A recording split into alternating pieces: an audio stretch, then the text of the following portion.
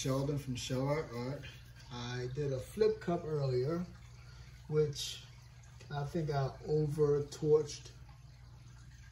So it got a little psychedelic on me. But my dear wife said if I put a realistic element to it, it'll kind of help it out a bit. But still, I like the way it's celled up. It just, I just got a lot of cells in it. But anyway, um, I'm going to do a bloom now to kind of shake that frustration. So let's get ready to get started, but I did leave my blow dryer for one second.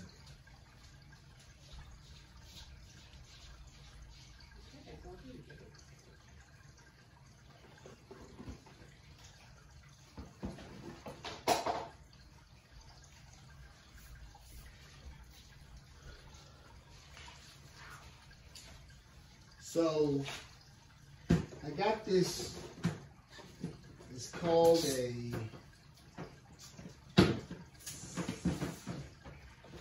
seven magic.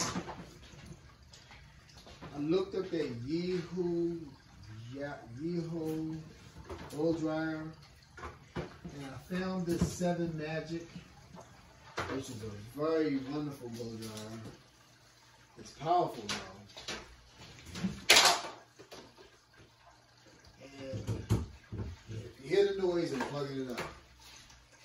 And so, but it's cool because it's got an automatic cool setting. So only time you get heat is when you actually push the button on. I think.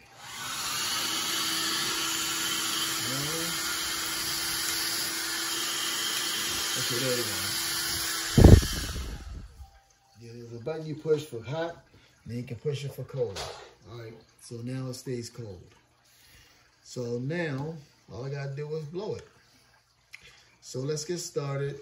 I'm going to get my pillow paint, which also I left over here.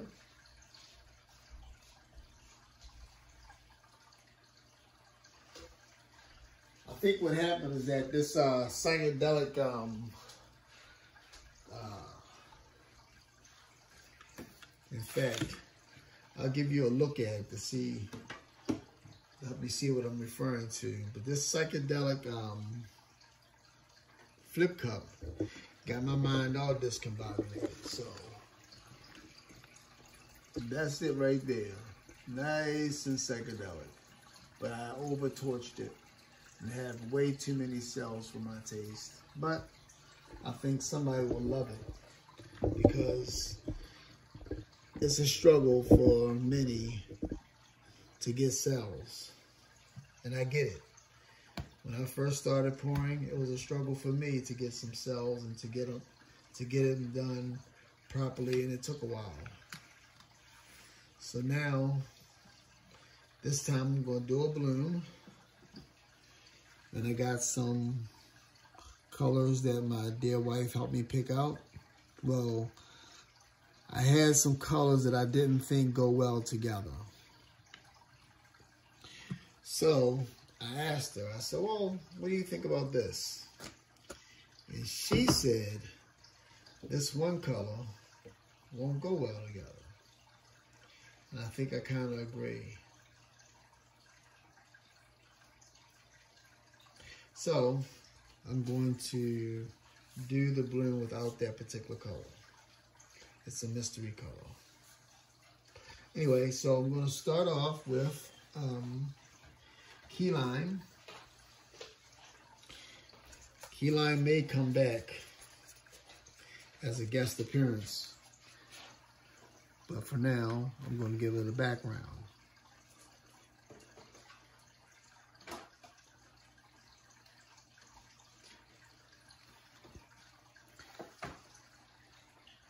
Plenty of paint.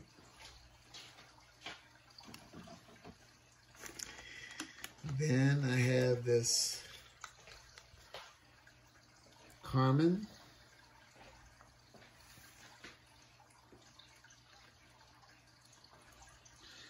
It's almost, I wanted to have the same feel as the one I did before called Jelly Beans.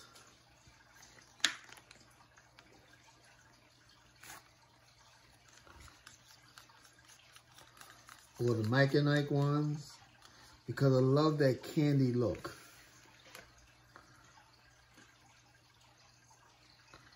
That's the boysenberry.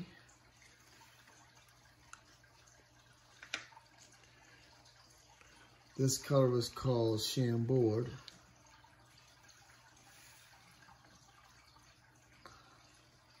It's like a raspberry color because Chambord is a raspberry liqueur.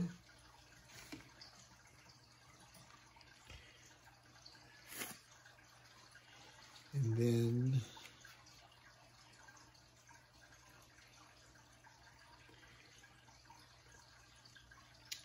do I bring the um yeah I'll bring the key lime back out. They have some closer to the top layer.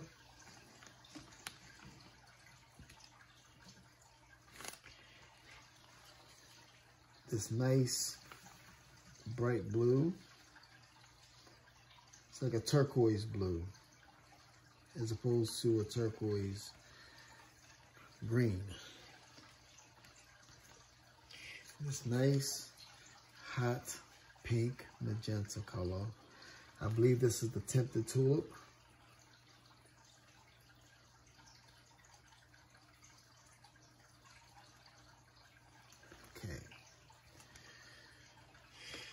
Now I'm to do a white cell activator topped with a black because I like the receding look to it as opposed to the lightning when I got these multiple colors here.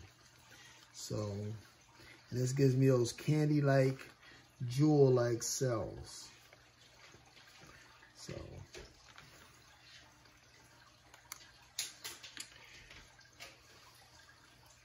Now I love this, um, I used to use Oxide Black by Amsterdam for my cell activator, but I've grown pretty fond of this Carbon Black by um, Golden.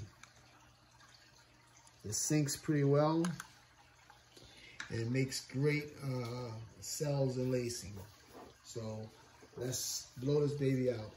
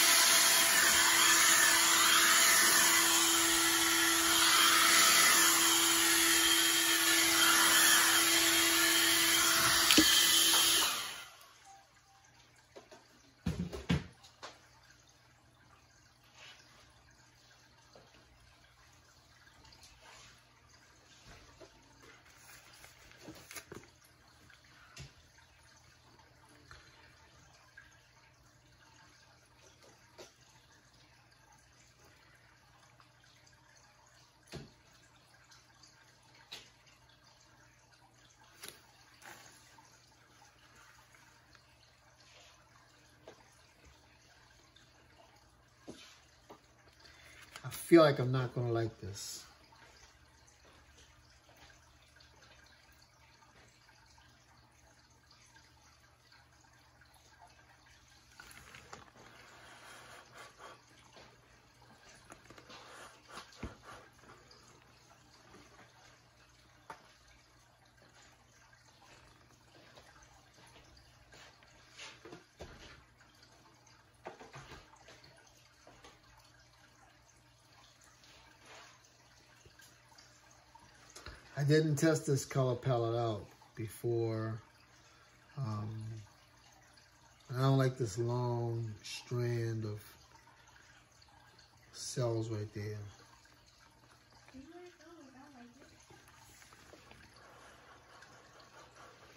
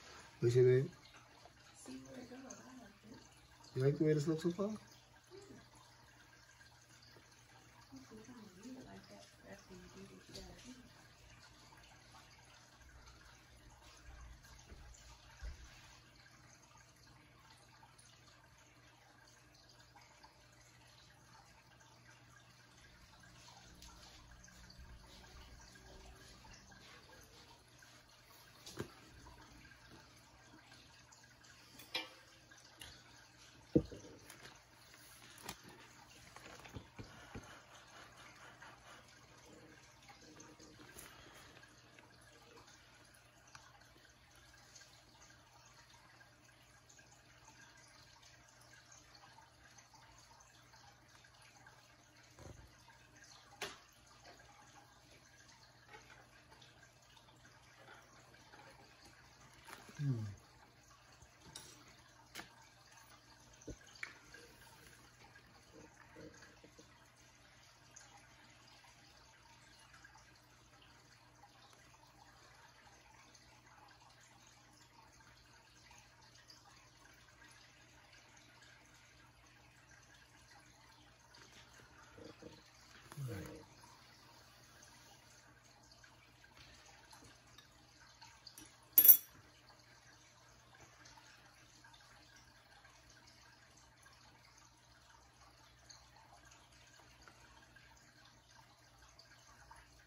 I guess it's starting to come together okay. I thought I was not going to like it, but it's still starting to look like some of my other pieces. Well, I did say I wanted to have that jelly beans look to it. So.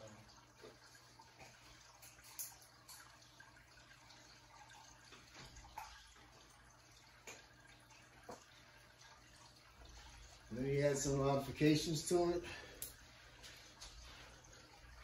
While the rest of that paint collects in the middle. And of course, this is sitting on um,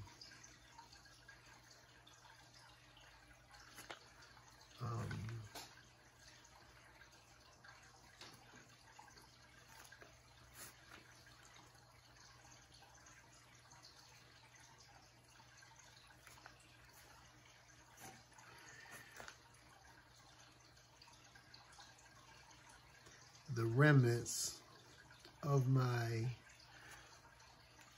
flip cup.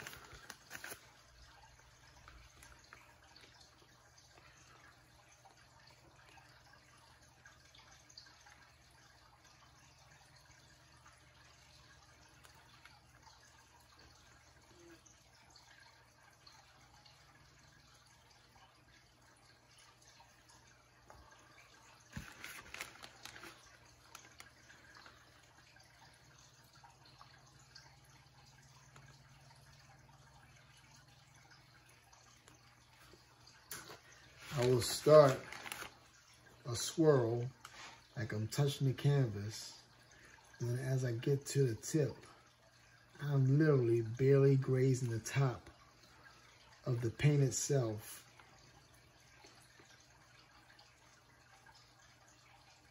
And slowly taking it around to lift some of that paint from the bottom to the top.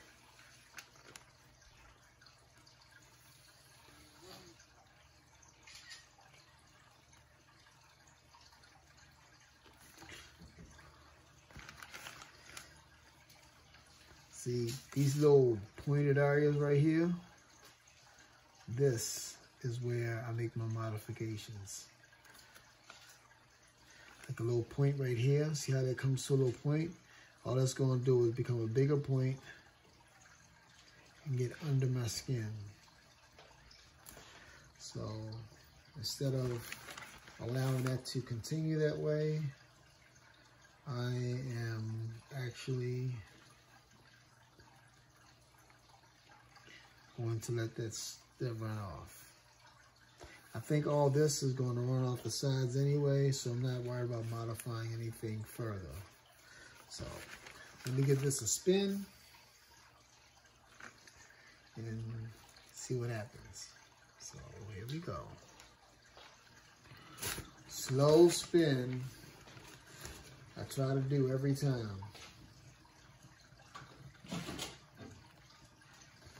Before I used to wing that thing. But now I've learned how to spin it slow in order for me to, uh, to me, get better results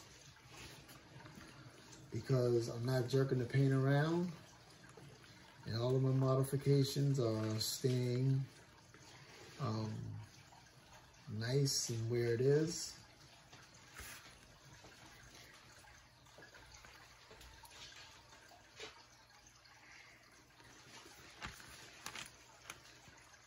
See how this is still smooth and not all wiggly?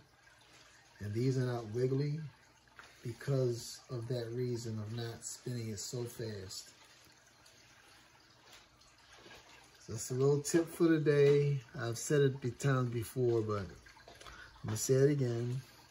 And you don't spin it the other direction, but it really doesn't matter what direction you spin it in, whether it's clockwise or counterclockwise, because all the force is coming from the center outward. So it's not like you're going to straighten up any kind of cells or anything like that by doing so. All right, so there you have it. I think that's pretty good. I can I can work with that. So let me um, get you down for a closer look. And I guess my wife was right. Uh, stuck with her word instead of thinking about scraping. I stuck with it and it turned out pretty nicely. So let me take it down for a closer look. All right. Here it is for a closer look. See those candy-like, jelly bean-like cells? Which is kind of what I was going for. I like that look. But you see how that modification doesn't look all wrinkly? Is there another one here? And then this one also doesn't look all wiggly wobbly because I did not spin the paint, or I did not spin the canvas rather, too fast. Look at how those cells begin to glow from within. They're different colors, and they're very light, and they're very pretty in 3D. So, thank you for watching. Let me get my this glare off of off of it. There you go. That's better. That's a better look. I had to take the glare off to get you a better look. But there you have it, folks. So thank you for watching. This is Sheldon from Shelrock Art. And have a very pleasant evening and happy pouring. Good night.